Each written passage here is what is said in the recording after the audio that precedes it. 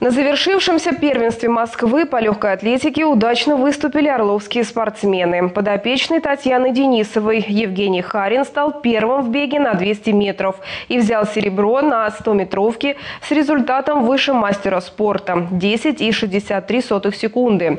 А воспитанник Николая Петрова Михаил Стрелков занял второе место на дистанции в полторы тысячи метров.